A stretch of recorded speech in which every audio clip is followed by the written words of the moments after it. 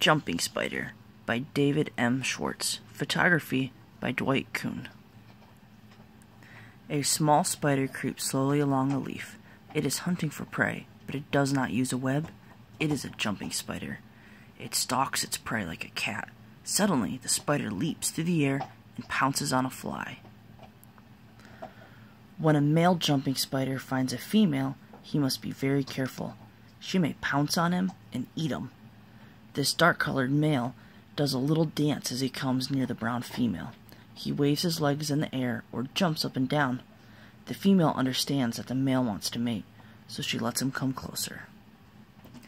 After mating, the female spins a sack of silk on a leaf.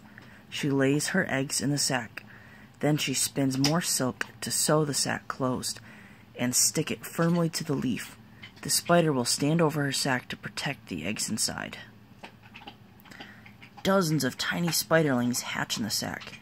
They begin hunting on their own right away. Spiderlings eat tiny flies and other insects.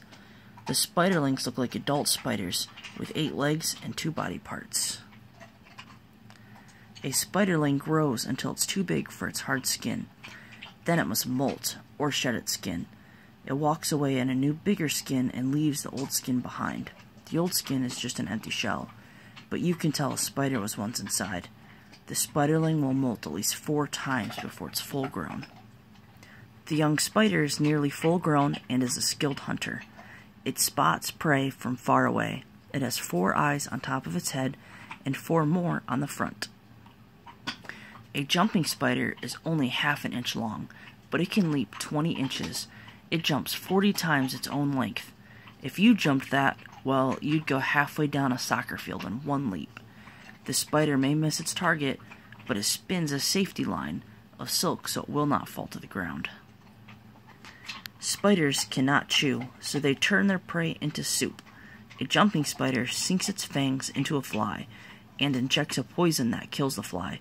Then it pumps its special juices that turn the fly's insides into liquid. The spider sucks up the liquid with its mouth. When it's one year old, the jumping spider will find a mate. Then a new generation of jumping spiders will be born. The end.